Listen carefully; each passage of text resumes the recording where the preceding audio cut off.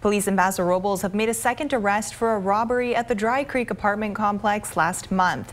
On May 15th, police say two men had forced a family at gunpoint into an apartment there and robbed them, taking their personal belongings. One suspect, 19-year-old Angel Chavez, was arrested days later. The second suspect, Lionel Herreon Sanchez, was located yesterday and taken into custody in the city of Rohnert Park in Sonoma County. Sanchez was booked into the SLO County Jail on several felony charges related to the robbery.